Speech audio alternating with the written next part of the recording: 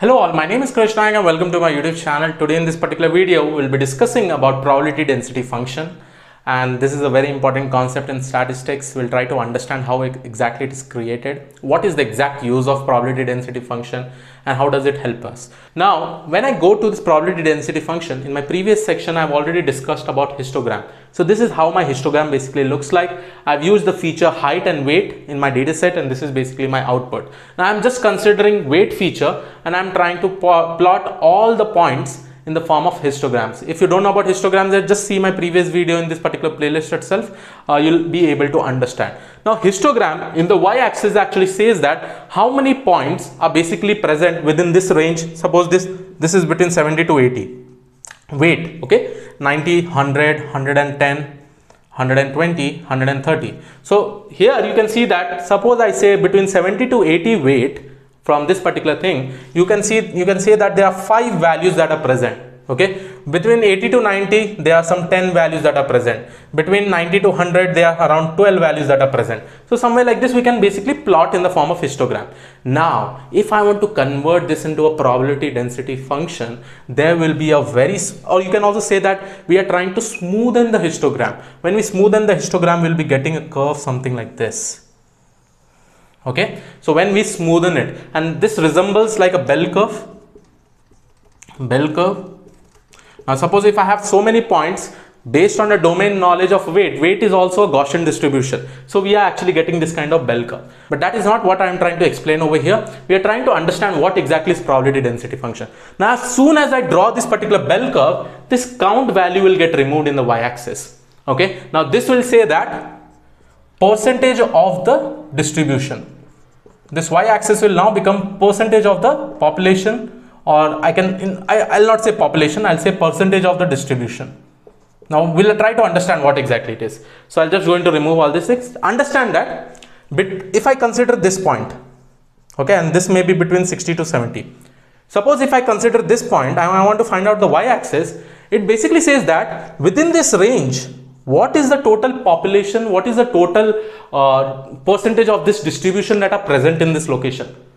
Okay? Sorry it should not be percentage of population but understand that how much how what is the percentage of the distribution that are present in this particular region okay? Percentage of distribution basically means how many point suppose here are so many points. Within this so many points what is the percentage of the points that are basically located in this particular region? And suppose i found out that okay this value is 0.1 this basically indicates that 10 percent of the distribution is present in this location. Suppose i consider for this particular point over here i want to find out what is the total percentage of the uh, distribution that is present over here.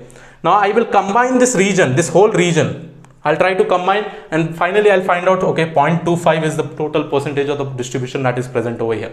And similarly we do it for each and every location. Suppose this this this this is what this y value basically says. Because there are so many confusion still students have that what is actually present in the y axis. Understand guys percentage of the total distribution that are present within that particular location. Suppose if I consider at this particular point then I will try to see this distribution part okay? And probably it will be around 50 percent. That is 0.5 okay? And when we combine all these things with respect to all these particular points it will be giving us around 100 percent. This cannot go more than 100 percent. Try to understand in that particular way. It cannot go. That basically means it cannot be more than 1 it will be between 0 to 1 okay? And this is what is a pdf function. This is basically a pdf probability density function. Okay? Now there is one more concept which is called as cumulative density function which is called as CDF right? That is that is little bit different when compared to PDF understand CDF how it works okay? So I'm just uh, going to rub this particular diagram. Now let us go ahead and try to understand about cumulative density function. This is my PDF guys okay? Now suppose how what is CDF CDF as the term says cumulative density function okay cumulative density function or cumulative distribution functions also you can say. Now in cdf what will happen is that suppose for this particular point that i see over here it is 0.1 okay now suppose for this particular point i want to find out what is the total value. That basically means i have to add this 0.1 and whatever value suppose this is ranging towards 0.25 okay? Suppose this is ranging towards 0.25 now i have to add this value. When i add this value the total will be 0.25 plus 0.1 which is nothing but 0.35 now my cumulative density function will be having a line like this. Okay? Because i'm adding these two points. And with respect to each and every point i'll be adding and finally you'll be seeing a curve something like looks like this. Okay? It will be a will be having a curve and this is what a curve of a cumulative density function look like you know at the end of the time the slope will become a little bit straight. Why? Because the points are falling. These values will become lower.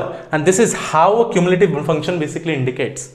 It is, is basically indicating. Okay? Now you can see over here. Over here you'll be able to see 0.35 0.55 0.75 0.85 0.9 something like that. Okay? Now understand. Suppose i take 130 and I try to populate a uh, point out over here and suppose I get 90 percentage of the values over here with respect to this particular point. Now what does this indicate? This indicates that 90 percentage of the distribution in this particular data set is less than 130 kgs. This is what a cumulative density function basically indicates. You know, 90 percentage of the distribution because why I'm getting 90 percent? Because when I plot this particular point over here I'm getting 0.9 value right? And this is all uh, added up. You can see that it is getting added up so my value is basically increasing every time. This this 0.1 got added with 0.25 I got 0.35 right? Again when I go up that value will also get added. I'll get 0.55 0.75 0.8 0.95 or 0.9 now this 0.9 basically indicates that suppose if I plot this particular point over here and I stretch it to the y-axis, it will show us 0.9. This basically indicates that 90 percentage of the distribution is less than 130 kg. That also indicates that 10 percentage of the distribution in this particular weight feature is greater than 130 kg. What a wonderful analysis, right? We are able to understand so many things with the help of cumulative density function and PDF. That is my probability density function. Isn't it amazing right? So this is what exactly cdf what exactly is pdf uh, there's a whole lot of use cases with respect to this. This all information is basically analysis. What we say it as exploratory data analysis. So yes this was all about this particular video. I hope you like this particular video. In this particular video we'll understood what is a probability density function and what is a cumulative density function that is cdf we understood it in depth. We understood all each and everything over here. If you have any queries please do uh, write your queries in the comment box. I would be very happy to help you out. So yes this was all about this particular video. I hope you like this. Please do subscribe the channel. If you are not already subscribed please share with all your friends. Whoever require this kind of help i'll see you all in the next video. Have a great day. Thank you one and all